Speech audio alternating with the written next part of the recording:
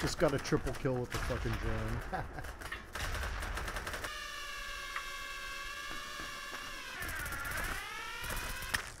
Ha ha.